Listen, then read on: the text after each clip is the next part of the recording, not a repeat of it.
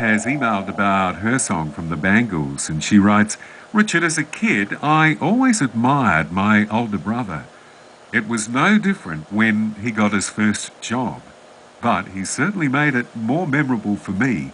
You see, his first pay was just before my birthday, so I was delighted when he chose to spend his first earnings on making my day special.